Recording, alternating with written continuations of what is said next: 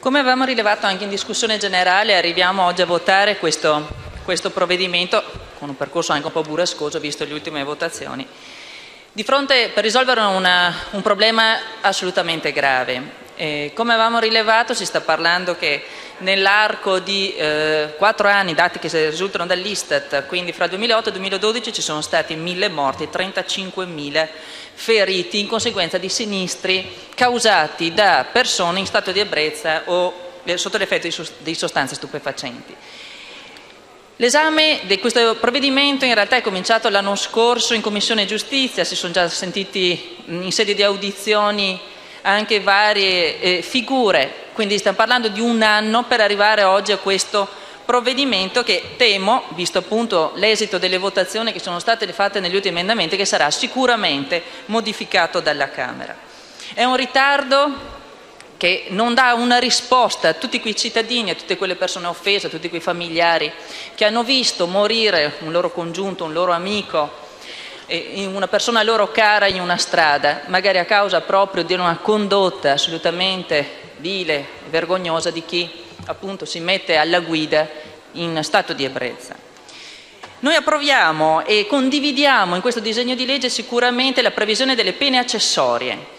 Noi come gruppo della Lega Nord abbiamo sostenuto infatti in particolare questa figura, visto che se ne è, parlata, se ne è parlato molto dell'ergastolo della patente, è una, magari un modo un po' volgare di parlare di un istituto invece che vuole essere molto serio.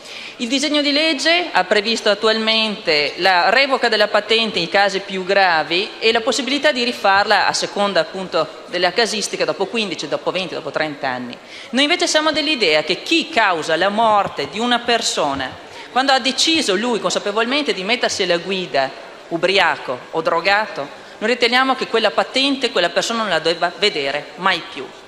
Ma non è per sottolineare l'aspetto punitivo, è di cercare di sottolineare invece la deterrenza, perché solo nel momento in cui si vede e si ha la certezza che venga applicata una pena così severa come quella della reclusione e quella della pena accessoria della revoca della patente con l'impossibilità di rifarla, si pensa che almeno così chi ha la possibilità di scegliere se salire in macchina ubriaco o salire in macchina sobrio, magari deciderà a quel punto, nel primo caso, di lasciare la guida ad altri.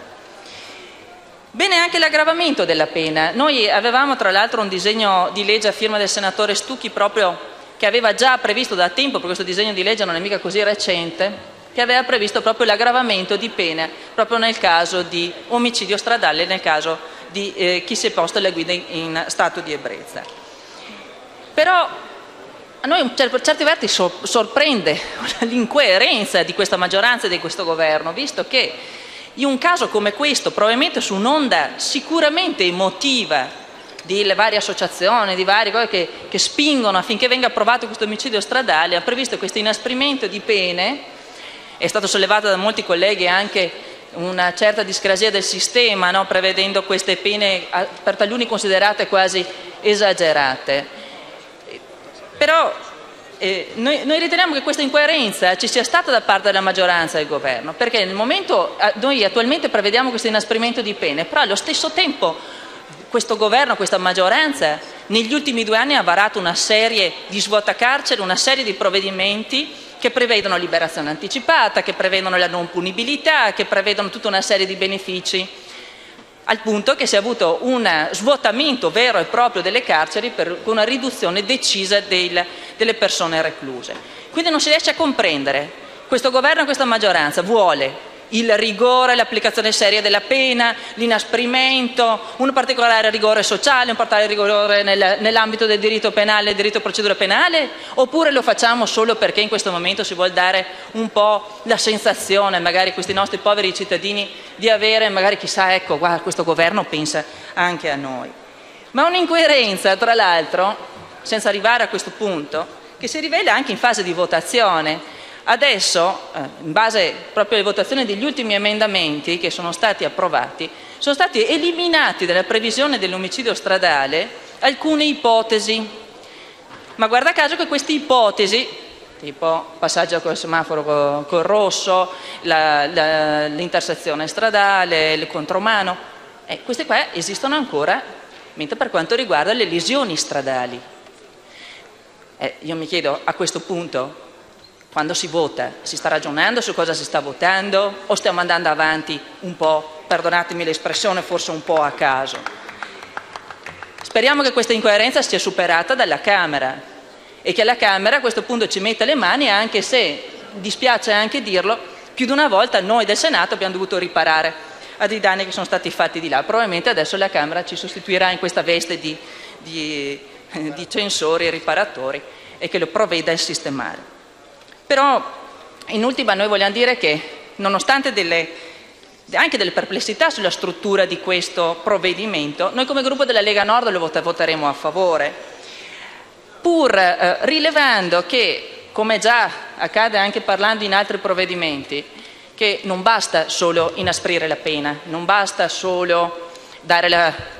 magari il nostro Presidente del Consiglio uscirà con l'ennesima slide, con l'ennesimo tweet a dire eh, adesso noi abbiamo risolto il problema dell'omicidio stradale. Ricordiamoci che l'omicidio stradale già esiste nel nostro ordinamento, quindi non è che sia un'invenzione, eh? non è un'invenzione di questo governo, già esiste. Attualmente vengono previsto sicuramente un inasprimento delle pene.